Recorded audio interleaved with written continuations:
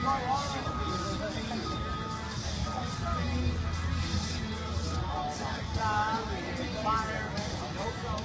we got a full bus.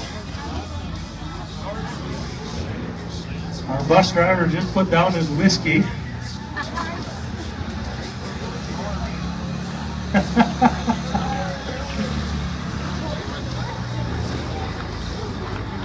so I guess the question is if we get stuck, who is going to push? Well, we're here for traction, you and I, so we're have to, I think.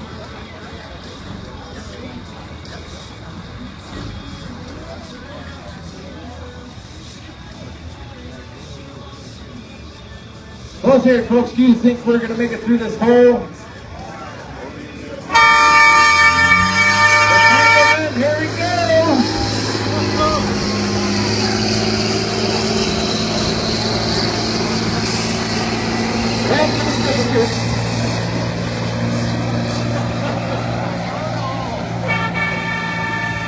All right.